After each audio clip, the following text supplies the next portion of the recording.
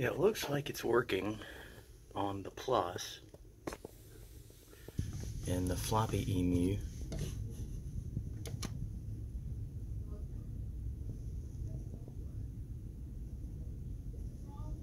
Hmm.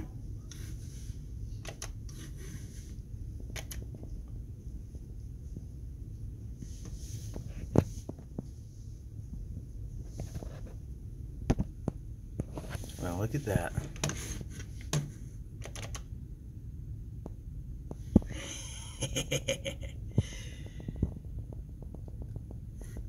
now let's see if I can install System 7 on it.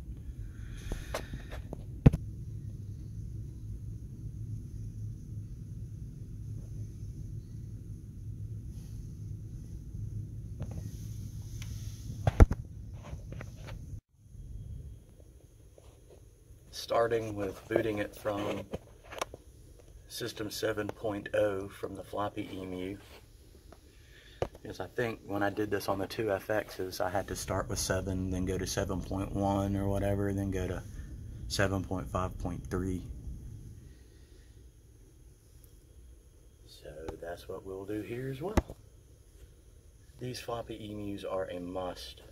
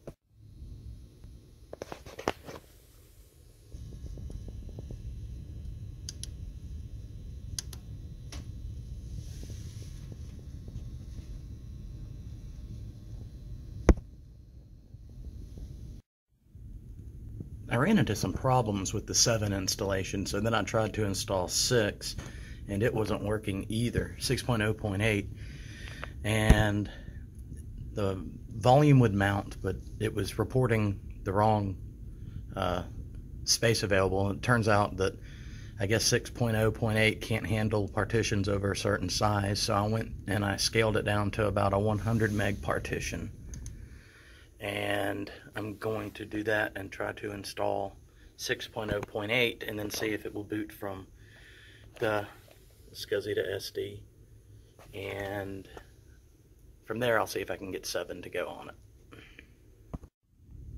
Here goes.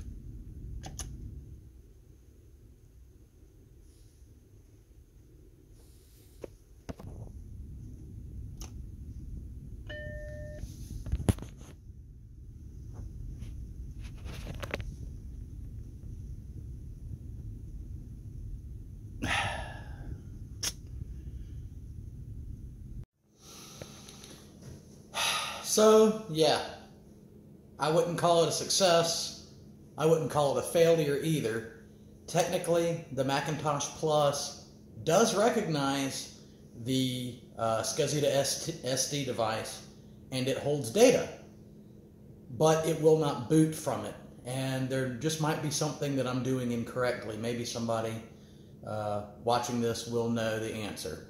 So, if anybody has any bright ideas, please let me know. Thanks.